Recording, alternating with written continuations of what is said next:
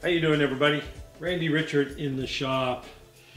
Uh, I haven't done a video in a while, so trying to get back into things uh, and all that stuff. What I got here is a piece of 12 inches long, 4 inch in diameter ductile iron. Um, this is a job for a viewer and a friend, uh, Ray Goff, uh, Razor, or Razor Ray, you may know him as if you've met him at the Bash. Ray has an issue on his John Deere 210 LE, the tilt cylinder for the bucket. So he has only one cylinder that roll that rolls the bucket.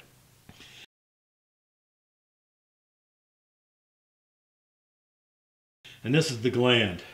Started leaking real bad, and so he has acquired the seals, and he sent me the gland.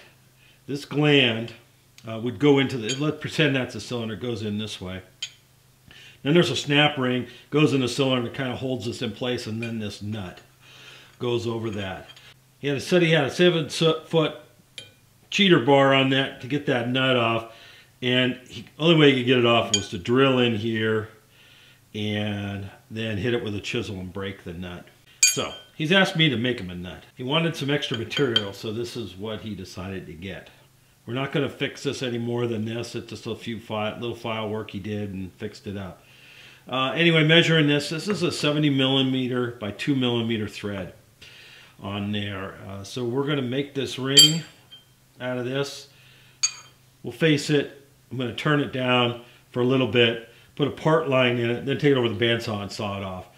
But it'll be all turned down to size, and then I can just throw it in the chuck and do the internal work.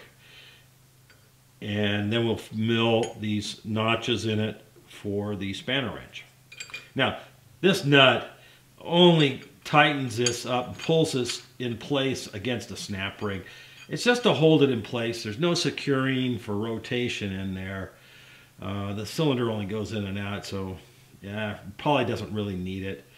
He might put a screw in it, uh, a grub screw to stop it from rotating, but yeah, I don't know if it really needs it. That's, you know, original design didn't have that, so anyway we're going to uh, get that made. This was dialed in to within about 15, 20 thousandths. It's, uh, like I said, it's not round really. Let me give it a little turn, turn here. And uh, that actually looks pretty darn good. We're not going to do any heavy machining. We'll take off about a quarter inch total on here uh, for about three quarters of an inch and that's all. Uh, and we'll face it. And we'll put a center hole in it.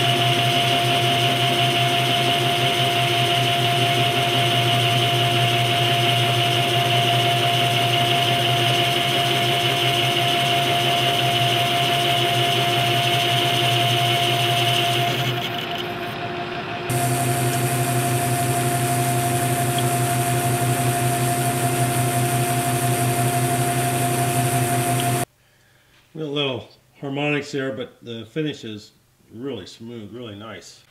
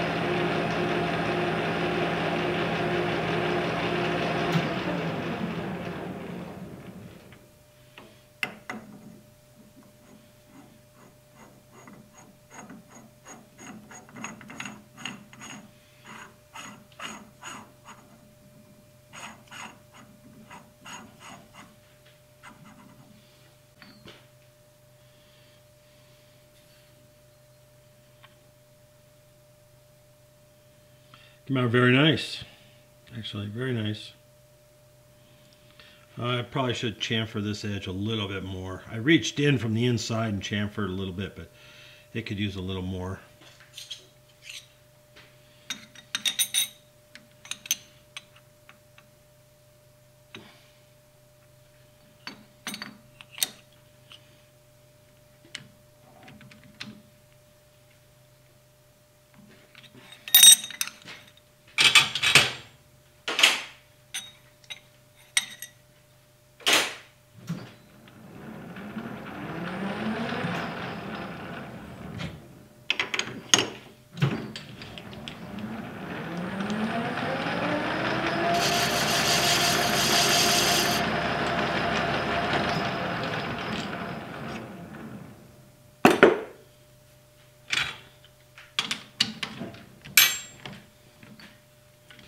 There we go. Now we'll just mill the slots. And I think we'll charge him about $500, I think. Sounds good? $500. All right, I need to put these four notches in there. And I think I'll leave this big break out. I, I won't do that. So I'm going to mill that one. Then I'm going to rotate it 90 degrees and I have a little little flat parallel down in there. I'll set that on. That will register that. Then we're just going to kind of guess a little bit and get 90 so I can do the other two. It's a good idea if I turn the camera on. These are about 170 thousandths deep.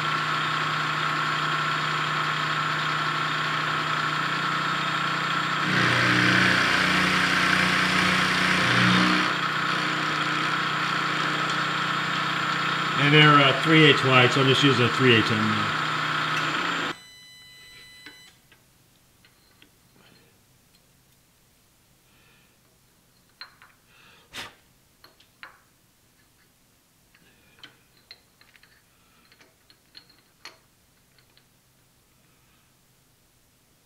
And I'm just sliding it against my stop over here that I registered on.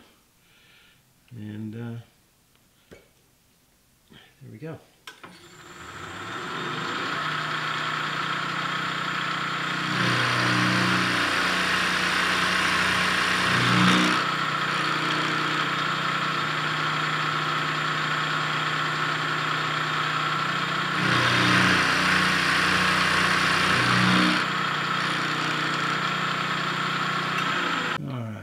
I'm just going to make those both the same height roughly above the vise.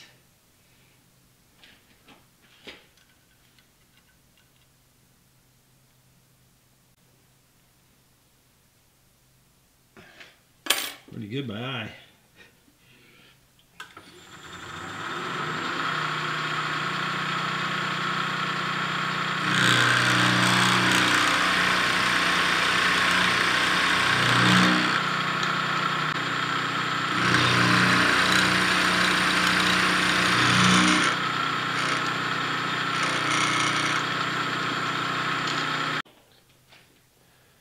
All right. The nut is complete, I think. Came out really nice. And uh, we'll get it shipped uh, back to Ray here. Thanks you guys for watching. And we'll catch you in the next one.